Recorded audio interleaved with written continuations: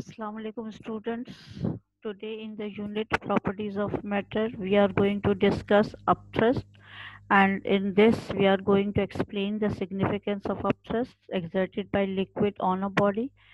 We are going to state the principle of flotation and uh, the uh, in terms of upthrust. So first is what is buoyancy? Buoyancy is the force that causes object to float it is the force exerted on the object when it is partially or wholly immersed in a fluid.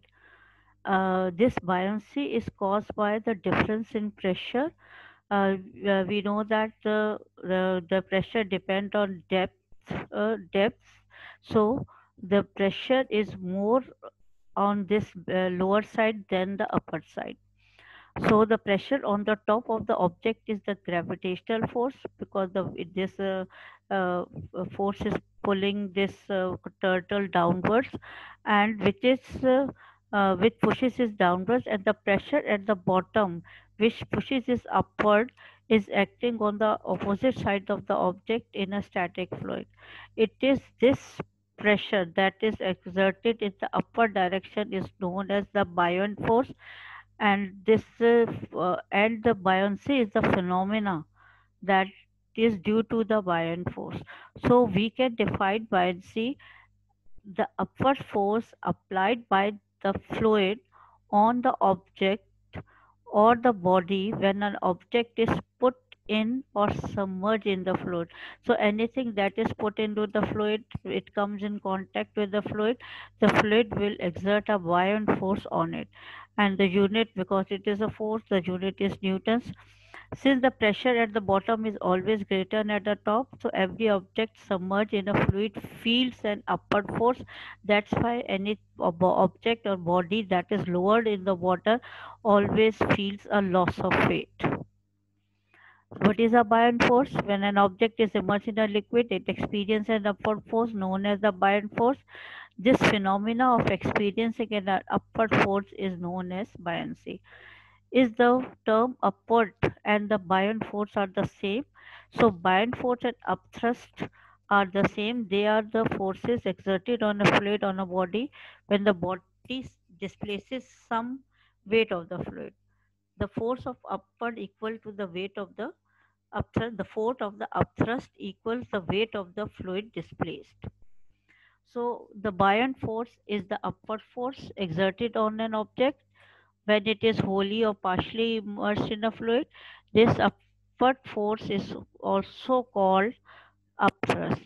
It is due to the buoyant force that a body submerged partially or wholly in a fluid appears to lose its weight. It appears to be lighter. So upthrust is the force which is applied in the upward direction and force is a thrust that can be applied in any direction. So up thrust is only applied in the upward direction. Any other force can be any in the other direction. For instance you can see that buoyant force how the buoyant force makes things seems to be lighter. This is a weight that is uh, hanging in the air. So the weight of this object is 7 pounds. So when it is lowered into the fluid so you can see that it displaces the fluid. That displaced fluid uh, by volume is equal to volume of this object. And this displace uh, the weight by weight we say the weight of this uh, displaced water is 3 pounds so because there is a loss of uh, 3 pounds you can say the, it is not in the water it is showing there is a loss of weight. That is uh, 4 pound. So 7 minus 4 that is the loss of weight is 3 pound. So the upthrust acting on this is is equal to the 3 pounds 3 pounds. So when in water the object experiences two force the weight of the object in air it is actual weight which acts in the downward direction. The weight measured when the object is immersed in a fluid is apparent weight. So this is its actual weight and this is shown is an apparent weight this is apparent because it experiencing an upthrust so uh, this uh, is showing the net effect. It, uh, this cancels out the effect of the gravitational force and uh, this is 4 pound is the net effect on this. The apparent loss of weight is is due to the buoyant force which acts in the upward direction. Okay, now so you can see that the buoyant force is equal to actual weight. Actual in the air we have taken is 7 and apparent weight that is read by the scale is 4 pounds. So 7 minus 4 that is equal to 3 pounds. So the uh, buoyant force is equal to the apparent loss of weight. So the buoyant force acting on that object will be 3 pounds. The object displaces an equal amount of water the bigger the volume of the object immersed, the bigger volume of the water is displaced. So those objects like ships, they have the bigger volume, so they uh, displaces a bigger volume of the water. And those who has a smaller volume like needle they displaces the smaller volume of the water. So volume of the liquid displaced is equal to volume of the submerged part of the object. So you can see that in this uh, the actual weight is equal to 0.67 when it is lowered into the fluid its weight seems to be the apparent weight is equal to 0.4 so you can see that upthrust that is uh, the upthrust acting on it will be the difference between the two that is uh, 0.27 newton will be the upthrust acting on this uh, object. Okay now uh, then the uh, force, uh, there are three situations. The significance of upthrust exerted by liquid on a body have the significance. Now, it, if we are comparing the buoyant force and the weight of the object, if the buoyant force is greater than the weight of the object, the object will rise up in the fluid. You can see this red arrow is representing the weight of the object and this is the buoyant force. If the buoyant force is more than the uh, weight uh, the weight of the object meaning that it displaces uh, more fluid than the weight uh, weight of this object then it, it there will be a uh, object will rise up in the fluid and it will float on the surface. Now in this case you can see that the buoyant force and the uh, weight of the object are equal. If they are equal it will hover you can see it will ho hover means that it it can be it can be uh, sub it can be floating submerged into the water. It may be partially above or partially below the water. So it will be just uh, uh, floating but uh, it will float but it will be maybe it will floating inside the uh, liquid. Uh, so that there is a object will float in water in this situation. But if the buoyant force is less than the uh, buoyant force is less than the weight so object will fill. That is you can see the uh, weight is more than the buoyant force acting on it. So uh, red you can see this red arrow is more. In this situation the object will sink like needle. Needle uh, weight is more than the weight of the fluid it displaces because its volume is very less. So whatever the volume of the water this displaces its weight is uh, even uh, very lesser than the weight of the needle. That's why the needle always sinks. Or you can see a stone. The stone uh, uh, equal, similarly displaces a less amount of the water by volume and the weight of that volume of water is less than the weight of the stone.